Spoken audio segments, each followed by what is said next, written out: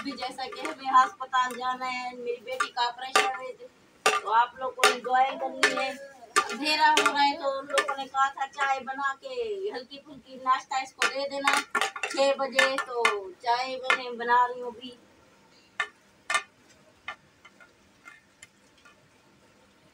डालिए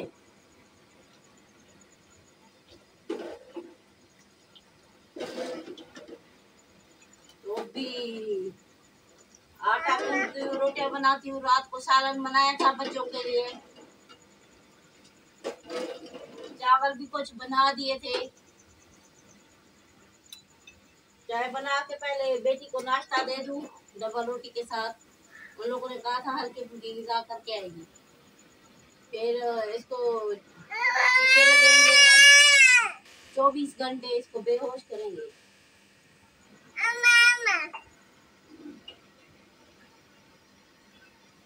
तो आप दुआएँ करनी है कि सही सलामत ऑपरेशन हो जाए मेरी बेटी का।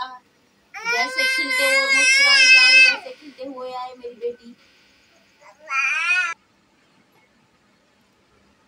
अस्सलाम मेरी प्यारे बहन भाई, कैसे आप सब? लोग बिल्कुल ठीक हो गए आप लोग हमारे ज़्यादा से ज़्यादा सपोर्ट करें।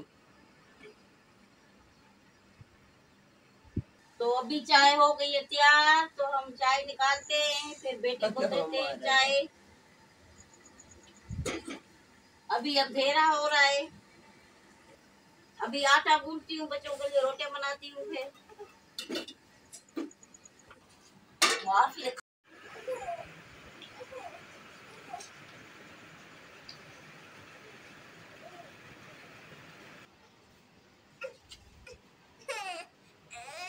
बोलिए थे, अस्पताल से आई थी, अस्पताल वाले। तो अभी मैं उतार दूँ पीछे से तो बच्चे तो नहीं उतारेंगे। पता नहीं मैं अस्पताल में एक दिन लगता है, दो दिन लगते हैं। बहुत ज़्यादा परेशान हूँ। तो जैसा कि मैंने बेटी का नाश्ता निकाल दिया है, डॉक्टर ने कहा था, डब्बा, रोटी और चाय दे देना उसको। तो उसको निकाल दिया है। बेटा, तुम नाश्ता कर लो। मैं फिर आटा गूंथती हूँ, रोटियाँ बनाती हूँ, हमारे बहन भाइयों के लिए। मैंने कहा साथ साथ वीडियो भी बना लूँ पता नहीं टाइम मिलता है, नहीं मिलता कल पता नहीं मैं बना सकती हूँ, नहीं बना सकती। घर में आऊँगी तो बनाऊँगी वीडियो और अस्पताल में कैमरा बिल्कुल खोलने की इजाज़त नहीं है। चारों तरफ़ गार्ड है और कैमरे लगे हुए बड़ी अस्पताल है। वहाँ नहीं खोलने देते वीडियो नहीं बनाएँगे कल भी हम लोग घर पे छोड़ के गए थे। कैमरा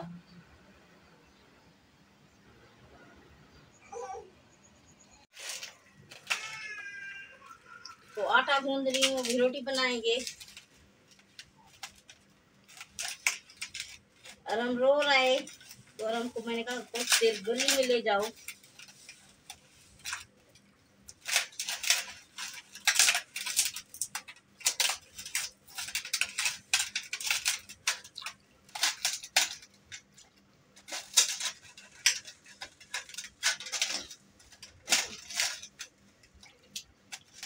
मैं बार बार बोल रही हूँ अपने प्यारे बहन भाइयों को को हमारे लिए बहुत दुआएँ करनी है। मेरी बेटी का ऑपरेशन सही सलामत से हो जाए।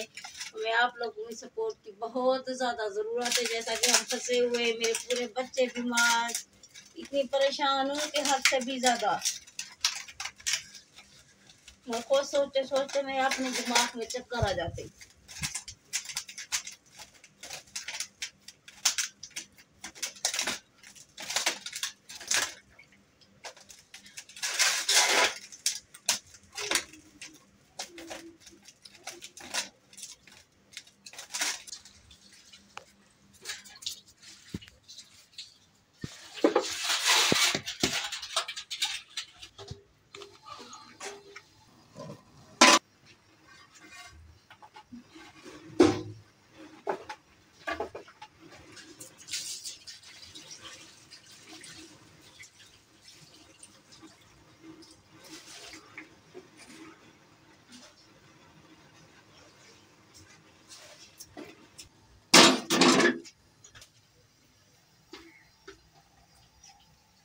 ये लौकी का सालन है, कद्दू का। हम लोग तो कद्दू बुलाते सरेकी में लौकी का सालन है। ये भी मैं गर्म करूँगी, गोली खाई हुई है ना, थायराइड की। तो नाश्ता कर लूँ, फिर टाइम का तो पता भी नहीं चलता।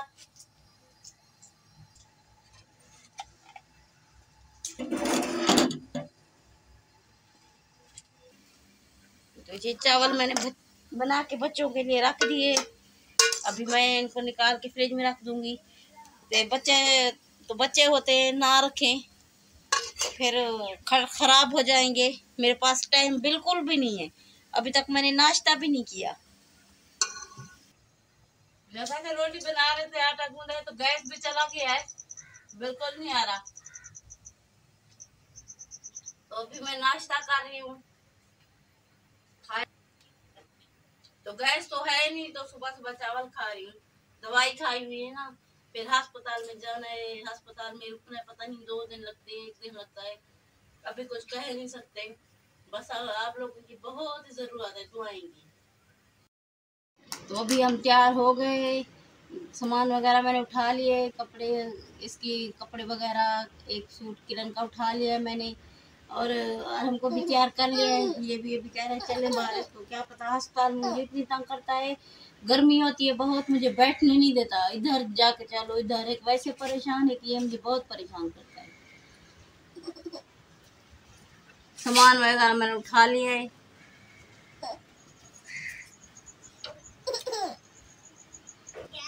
और का फीटर में मैंने पानी भर लिया है और ये बोतल भी घर से भर ली है।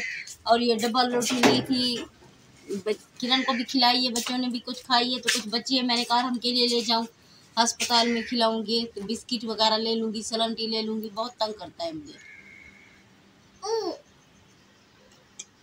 तो बस अभी हमारा टाइम हो गया है तो अभी हम लोग बस निकल रहे हैं, क्योंकि बस पे जाएँगे तो बस में भी टाइम लगता है, बस में रुकती है, चलती है, सवारियाँ उठाती है। हॉस्पिटल में पता नहीं कितने दिन लगते हैं। अभी जो है ना, अम्मी और आप ही जा रहे हैं, एक दिन लगता है या दो दिन।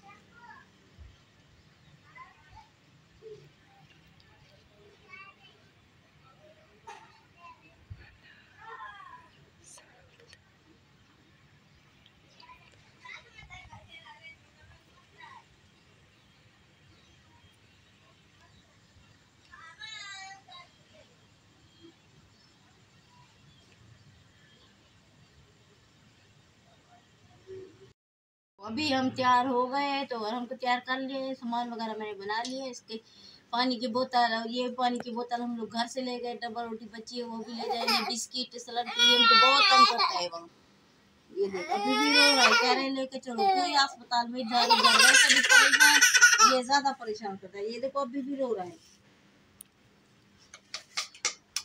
तो अब हम निकलते हैं घर से। भी हमें दे इजाज़त, ध्यान रखना याद, मेरी बेटी के लिए बहुत सारी दुआएँ करनी है आप लोगों ने। तो अल्लाह